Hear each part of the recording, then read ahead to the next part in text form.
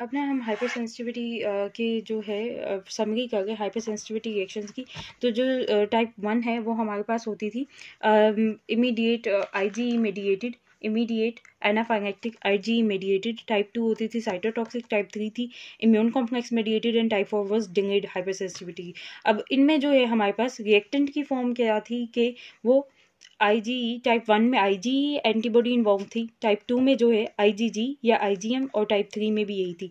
और type four में T cells थे। हमने ये कहा, पहले तीन जो है, वो एंटीजन मेडिएटेड हैं एंड सॉरी एंटीबॉडी मेडिएटेड है। एंड टाइप फोर जो है, वो टी सेंग मेडिएटेड थी।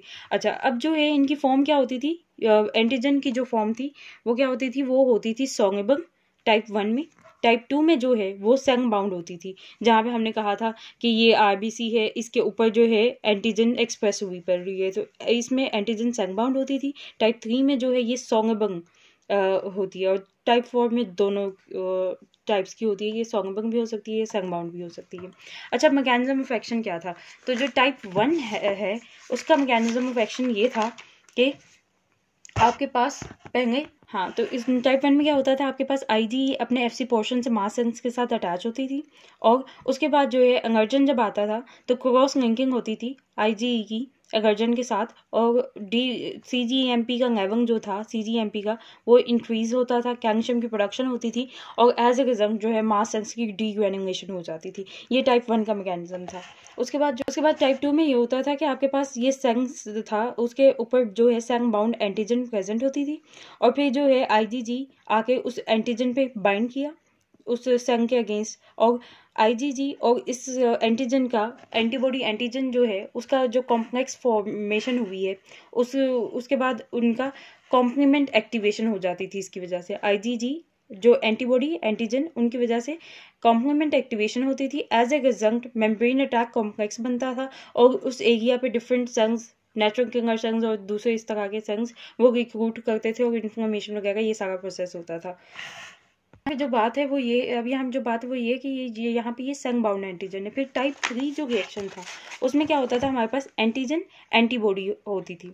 अब जो एंटीजन है वो मंकी वेगेंट होती थी, वो बहुत सी एंटीबॉडीज़ के साथ अटैच कर जाती थी। एज ए रिज़ल्ट एक मैशवर्क बनता था, जो कि reticular एंडोथिंगिंग system was not able to eradicate that meshwork इसी वजह से अच्छा उसके बाद जो है कि यहाँ पे ये मैशवर्क बनता था और गेटिंग एंडोथिंगिंग सिस्टम उसको एरेडिकेट नहीं कर सकता था। एज ए रिज़ल्ट क्या होता था वो बेसमेंट मेम्ब्रेन पे डिफरेंट ऑर्गन्स के वेसल्स किडनी इन सब में जाके वहाँ पे उधर डिपॉजिट कर जाती थी और कॉम्प्लीमेंट की फिर एक्टिवेशन कॉम्प्लीमेंट रिक्रूट करता था डिफरेंट सब्सटेंसेस को साइटोकिन्स को, इन सब चीज़ों को और उसकी फिर मैनिफेस्टेशन न्यूट्रोफिन्स ये सारा इन्फॉर्मेशन का सारा प्रोसेस होता था टाइप थ्री में।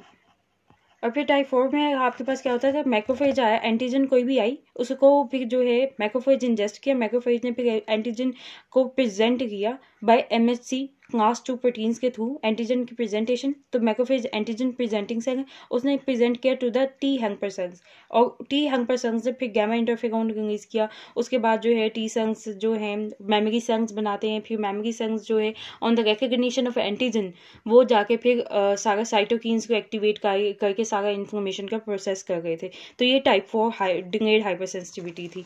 तो ये जो है, ये सारा मैकेनिज्म ऑफ़ एक्शन था कि टाइप वन में I G mediated mass sense के साथ बाइंड करके एंगर्जन की क्रॉस लिंकिंग के साथ डिग्रेनुलेशन वगैरह हो गई थी टाइप वन में।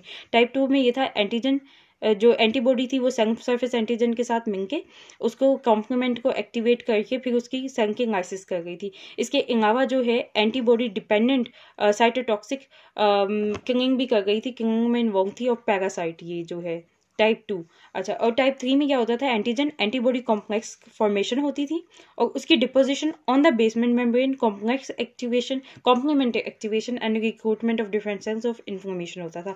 और टाइप फोर में जो है, हमारे पास टी एच वन सन्स बनते थे और टी एच वन सेल्स जो है साइटोकिन्स को रिक्रूट करते थे साइटोकिन्स की एक्टिवेशन करते थे साइटोटॉक्सिक टी सेल्स मैक्रोफेजेस वगैरह बनते थे, ये प्रोसेस था। अच्छा अब एग्जाम्पल्स में ना टाइप वन को हमेशा एनर्जी से एसोसिएट करें। तो एनर्जी में हमारे पास हे फीवर एस्थमा ठीक है, इस तरह की चीज़ें आ जाएँगी। हे फीवर कंजक्टिवाइटिस गाइनाइटिस ये सारा। अच्छा अब टाइप टू में जो है साइटोटॉक्सिक था हिमोंगसिस से तो ए बी और ट्रांसफ्यूजन रिएक्शंस और रीसस हिमोंग हिमोंगसिस जो है, हिमोंगटिक एनीमिक सिंड्रोम जो है, इसके अलावा जो है, इसके अलावा जो एक एक्सेप्शनल एग्ज़ाम्पल थी, वो गुड पैस्टर सिंड्रोम था। गुड पैस्टर टाइप टू में गुड पैस गुड पैस्टर सिंड्रोम था। अच्छा उसके बाद जो है टाइप थ्री हमारे पास आ जाती। टाइप थ्री जो है इम्यून कॉम्प्लेक्स मेडिएटेड थी। तो इसमें हमने जो है, वो किए थे इम्यून कॉम्प्लेक्स मेडिएटेड थी और इसको रिलेट करना है कि इन्फ्लेमेशन रिलेटेड जो हम अपने बॉडी में जो ऑटो जो हम ऑटो एंटीबॉडीज़ के अगेंस्ट इस तरह की इन्फ्लेमेशन पढ़ते हैं तो वो सारी तो पहले उसमें एस आ जाती है, गंगो मैगो नेफ्राइटिस आ जाता है, और आर्थस रिएक्शन आर्थस रिएक्शन और इसके अलावा सीगम सिकनेस इन्वॉल्व हो जाती है, ठीक है? ये इसकी एग्ज़ाम्पल होगी और टाइप फोर डिंगेड में जो है डिंगेड में हमने की थी कि ये जो सारे स्किन टेस्ट जो थे सारे, उसमें जैसे स्किन की contact hypersensitivity contact hypersensitivity skin को ही इफ़ेक्ट करती है तो कॉन्टैक्ट हाइपर तो इसकी एग्जाम्पल्स में ना स्किन रिलेटेड जितने भी होंगे वो आएँगे कॉन्टैक्ट हाइपर सेंसिटिविटी होगी, इसके अलावा जो है आपके पास ट्यूबरकुलिन जो टेस्ट होता है पीपीडी वो वाला, वो भी स्किन में ही इंडिकेशन हम देखते हैं ना, इसके अलावा जो है स्टीवन जॉनसन सिंड्रोम है, वो भी स्किन के लीजन्स जो बनती हैं और उसके अलावा जो है एरिदीमा मंकी फॉर्म वो भी स्किन में ही बनता है, ठीक है? और इसके अलावा जो है toxic epidermic necrolysis toxic epidermic necrolysis ये आ जाता है। तो जो एग्जाम्पल्स को याद करना है वो इसी तरह से एनर्जी रिलेटेड जो है हे फीवर एजमा हो गया गाइनाइटिस कंजक्टिवाइटिस ये सारे। और जो साइटोटॉक्सिक जो है, उसमें हमारे पास हिमोंगसिस रिलेटेड टाइप टू आ जाएँगे। उसमें A B O haemolysis reaction A B A O transfusion reaction है। जैसे हिमोंगसिस सिंड्रोम वगैरह जो बच्चों में होता है गुड पैस्टर सिंड्रोम और हिमोंगटिक अनीमिया वगैरह। और टाइप थ्री में जो है हमारे पास, वो जो हम इम्यून सिस्टम की हमेशा से डिज़ीज़ पड़ते आए जैसे एसेंगोमैगोनेफ्राइटिस आता है सीगम सिकनेस वगैरह और डिंगेट भी हमारे पास स्किन रिलेटेड जितने भी हैं, वो सब एग्ज़ाम्पल में आ जाएँगे। जैसे कॉन्टैक्ट हाइपर सेंसिटिविटी है ट्यूबरकुलिन है स्टीवन जॉनसन है एरिदिमा एंड टॉक्सिक जो एपिडर्मल नेकोमाइसिस वगैरह है।